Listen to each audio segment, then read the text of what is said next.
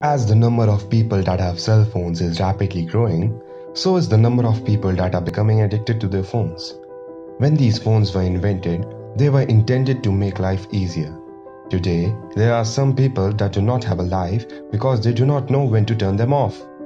The dark truth is that it's becoming very hard to find anyone and certainly anything more interesting than a smartphone. We love our phones and would never want us to give them up but we are aware that these delightful gadgets bear a hidden cost.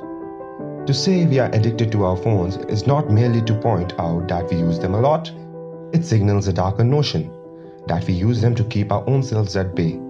Because of our phones, we may find ourselves incapable of sitting alone in a room with our own thoughts, floating freely in our own heads, daring to wander into the past and the future, allowing ourselves to feel pain, desire, regret, and excitement.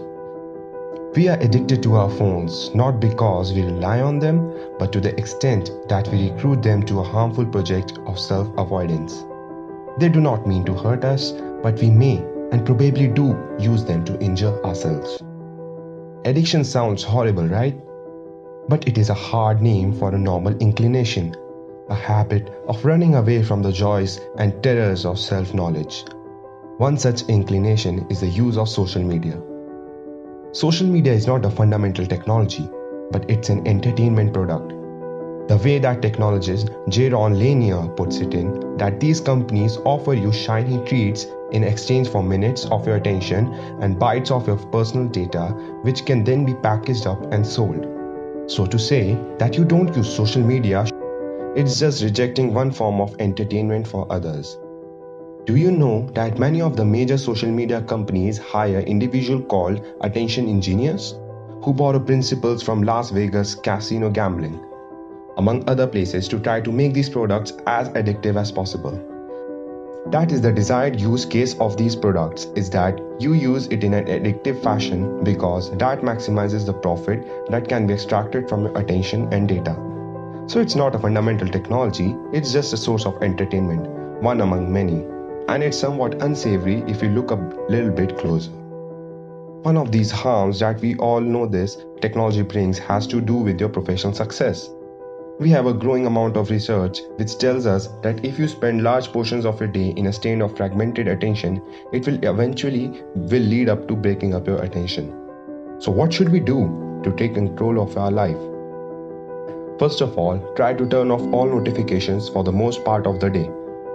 Notifications appear in red dots because red is a trigger color that instantly draws our attention, but most notifications are generated by machines, not actual people. They keep our phones vibrating to lure us back into apps we don't really need to in. Secondly, go grayscale. Colorful icons give our brains shiny rewards every time we unlock. Set your phone to grayscale to remove those positive reinforcements. It helps many people check their phone less. You can also try keeping your phone screens to tool only. Do you open apps mindlessly because they are the first thing you see when you unlock your phone? Limit your first page of apps to just tools, the apps you use for quick in and out like maps, camera, calendar, notes. Another tip is to charge your phone outside the bedroom. Get a separate alarm clock in your bedroom and charge your phone in another room. This way you can wake up without getting sucked into your phone before you even get out of bed. Here's a pro tip. You can delete the Facebook app and still get some specific features that is Facebook Messenger for messages and local for events. Finally, please understand technology is there to help us move forward. It is not created to waste our time and make us less productive. Social media can be a great way to connect with people, but you must not neglect the importance of physical communication with others too.